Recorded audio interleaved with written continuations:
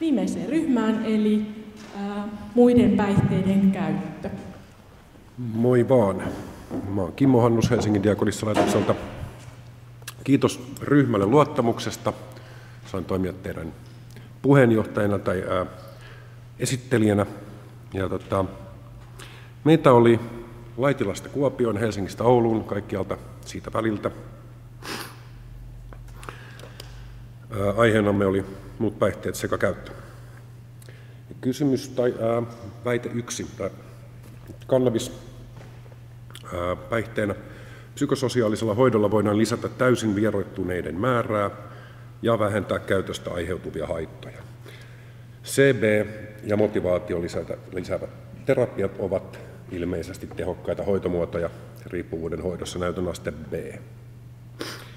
Me valittiin tai vastattiin ää, kolme ja puoli, ää, jota lomake ei sallinut, eli toteutuu joltain osin tai satunnaisesti harvoissa hoitopaikoissa yksittäisten asiakkaiden kohdalla.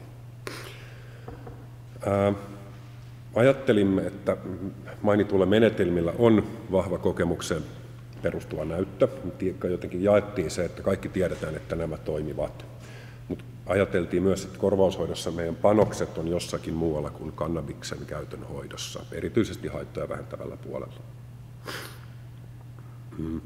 Mietittiin, että toisaalta käyttö on runsasta, niin olisiko vaihtoehtoisia menetelmiä, jotka olisivat tehokkaampia kuin, kuin CB, CBT, joka todettiin aika raskaaksi.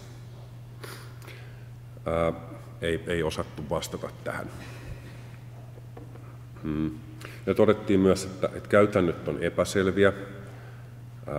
Esimerkkinä työpaikallaan käytöstä, kannabiksen käytöstä kiinni jäävä, niin ää, tota, voi olla, että hänelle ei seuraa mitään, tai voi olla, että seuraa massiivisia ongelmia. Ja ei ole yhtenäistä ohjeistusta siitä, kuinka, kuinka toimitaan. Tässä kohtaa keskusteltiin siitä, että mikäli alkoholiongelma ilmenee työpaikalla, se yleensä näyttäytyy jo hyvin ongelmallisena ja siitä seuraa hoitonohjaus. Mikäli kannabiksesta jää kiinni, niin voi olla hyvin, hyvinkin, että sitten ei ole mitään haittoja. Että, se, se vain tavalla tahtoisella todetaan ja, ja, ja silloin se hoitonohjaus ei välttämättä ää, seuraa sitä automaattisesti. Ja todettiin, että asenne, asenneympäristö on muuttunut kovin sallivaksi.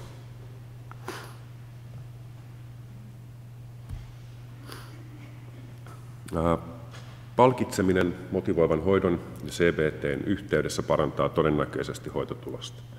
Palkitseminen rahalla tai ostosetelillä voi ilmeisesti lyhytaikaisesti parantaa psykoterapian hoitotuloksia kannabisriippuvuuden hoidossa näytön aste B. Totesimme, että toteutuu satunnaisesti harvoissa hoitopaikoissa yksittäisten asiakkaiden kohdalla. Se, miksi me valittiin, että se toteutuu satunnaisesti, liittyy siihen, että me tiedostimme sen, että hoito-ohjelmat sinällänsä perustuvat jo palkitsemiseen. Kun asiakas etenee hoidossa, hän saa kotiannoksia, hän saa ää,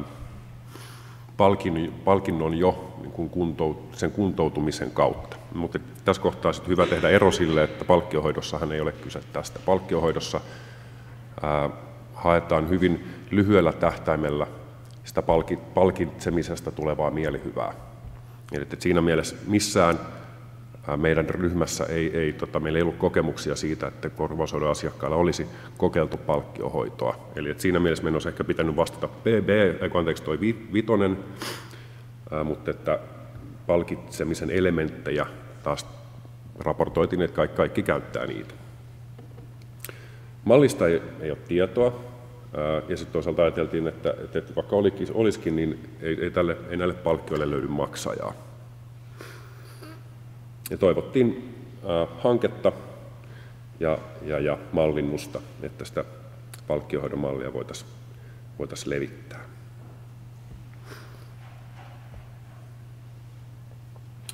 Metamfetamiiniriippuvuuden hoidossa palkitseva hoitomuoto, CB ja motivoiva Käyttäytymisterapia ovat parempia kuin pelkkä ohjeenmukainen itsehoito tai tavanomainen hoito näytön aste A. Ruksasimme kohdan kolme. Toteutuu joltain osin osassa hoitopaikoista joidenkin asiakkaiden kohdalla. Mm. Kyllä, haluaisimme noudattaa tätä enemmän. Miksi? No koska näytön aste A. No miksi ei noudateta? Ajateltiin, että johtuu resurssipulasta. Koettiin myöskin niin jopa tuhlaamiseksi haittoja vähentävällä puolella. Ja tässä kohtaa keskusteltiin muun muassa ADHDn hyvästä seulomisesta, että kun seulottaisiin amfetamiini- tai stimulanttikäyttäjien joukosta ADHD-potilaat ja, ja saataisiin heidän lääkityksensä kuntoon, niin päästäisiin pitkälle. Amfetamiiniriippuvuuden hoidossa kognitiivinen ja motivoiva käyttäytymisterapia on ilmeisesti parempi kuin pelkkä ohjemukainen itsehoito. Ruksasimme kolmosen, toteutuu joiltain osin osassa hoitopaikoista. Mm. No miksi ei, miksi, ei käyttä, miksi emme noudata ohjetta? Keskustelussa todettiin, että potilaiden heikko adherenssi hoitoon. Jälleen kerran moitimme resurssien puutetta syyksi. Totesimme, että aika laajalti meillä on sairaanhoitajilla on osaamista ja, ja se, sitä resurssia on käytettävissä, mutta kenelläkään ei ollut terapeuttia korvaushoitopotilaille ää, niin kuin osoittaa. Oli mahdollisuuksia kyllä päästä terapiaan, mutta ei niin, että sitä olisi korvamerkattu korvaushoitoon. Mm. No, e, että, että emme menisi resurssipulan ja potilaiden heikon adherenssin taakse, niin käytiin keskustelua siitä, että, pitäisikö meidän ää, kiinnittää huomiota asiakkaiden niin terapian vastaanottovalmiuksiin. Olisiko hyvä hoito sitä, että ihmisten edellytykset ottaa entistä enemmän hoitoa vastaan paranisivat. Mm. Ja se ei ole pelkästään sit niin kuin, se ei ole puhtaasti sitten tota, kun hoidon kysymys, vaan tässä käytiin keskustelua siitä, että, että onko se niin kuin organisaatiotasolla ehkä sellaista asennekysymystä myös, että, että jos me tehtäisiin, tehtäisiin enemmän töitä ää, ehkä hoitojen alkuvaiheissa, ää, integroitaisiin psykiatrinen hoito niin kuin vahvasti kiinni korvaushoidon aloitukseen ja alkuun, niin kenties meillä olisi mahdollisuudet sillä tavalla taklata tätä adherenssiongelmaa.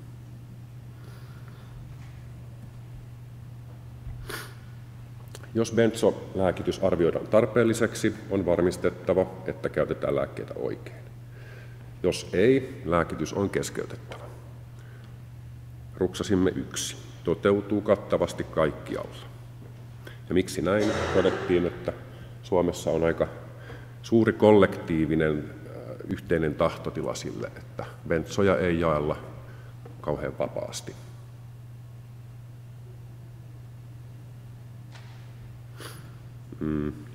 Ja kohta kuusi. Jos bensavierotus epäonnistuu toistuvasti, potilaat saattaa hyötyä valvotusta pitkäaikaisesta bensolääkityksestä. Valitsimme kaksi. Toteutuu valtaosassa hoitopaikoista. Tässä oli vähän eroja paikkakuntien välillä. Valtaosa ryhmäläisistä sanoi, että kyllä, juuri näin. Meillä on pieni joukko asiakkaita, jotka ovat ikään kuin benso-ylläpidossa. Vierotus ei ole onnistunut. Ja meillä oli paikkakuntia, missä todettiin, että me vieroitamme kaikki piste. Ja tästä keskusteltiin, että, että on, onko se hyvä. Ja todettiin, että, että todellisuudessa se asiakasmäärä, jotka tarvitsevat bensuja ja eivät, eivät pärjää ilman, on, on hyvin pieni. Mm, ja keskusteltiin myös siitä, että osassa paikkakuntia pentsot ajetaan alas ennen korvaushoidon aloitusta. Se on jo edellytys sille, että korvaushoito aloitetaan. Ja, ja, ja tähän keskusteluun liittyy, liittyy kysymys siitä, että onko se oikeastaan hyvä juttu, että nostaako se korvaushoitoon hakeutumisen kynnystä ää, aiheettomasti. Ihmiset ei hakeudu hoidon piiriin, kun tietävät menettävänsä bensonsa. Kiitos. Hyvä, kiitos. Herättääkö tämä yleisössä kysymyksiä tai keskustelua? Kommentteja?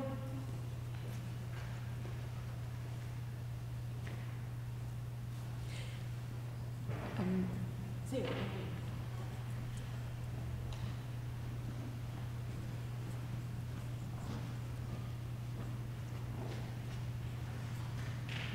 Mä olisin vaan halunnut varmistaa, että oliko ne nyt oikein päin ne kaksi kaksi kysymystä siinä, kun mun mielestä siinä, oli se, mitenköhän se meni, se kohta, missä sanottiin, että tuhlataan resursseja, niin mun mielestä se oli siihen kannabis-asiaan, mutta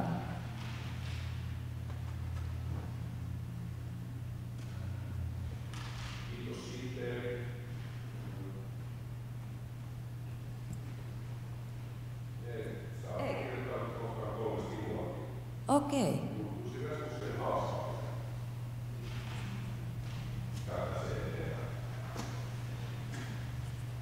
Ei kun niin, totta, joo.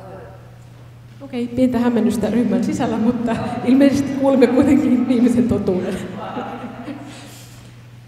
Tota, jos, jos yritetään jollakin tavalla vetää yhdessä yhteen sitä, mitä on nyt näissä ryhmänpuruissa kuultu, niin mulle jää sellainen käsitys, mä en tiedä, onko mä kuullut asioita oikein, vahvistakaa tai olkaa eri mieltä, et, että äh, puhtaasti lääkevalintoihin liittyvät suositukset huomioidaan melko hyvin, kun sitten taas psykososiaaliseen hoitoon liittyviä suosituksia käytetään niin sellaisenaan paljon paljon vähemmän. Oliko muilla kuulijoilla samanlainen kuulokokemus? Jonkunlaista nyökyttelyä yleisestä. Eli, eli ää, mitä meidän pitäisi ajatella tästä asiasta eteenpäin? Onko tämä pitkälle resurssikysymys? Korvaushoidot on mitotettu niin, että et, et tavallaan se, se asia, mikä tekee päihdehoidosta korvaushoidon, eli se lääkkeen jakaminen, on, on jotenkin huomioitu ja, ja, ja sitä tehdään niin kuin, yhteisesti ymmärrystä on, on saatu ja jaettu, mutta se loppuosa korvaushoidosta, psykososiaalinen kuntoutus, mikä oikeasti viime kädessä on se, mikä mahdollistaa toipumisen, niin, niin sen, sen rooli korvaushoidossa on vähäisempi kuin mikä sille kuuluisi sekä niin kuin painoarvoltaan että, että sille annetulta resursseiltaan.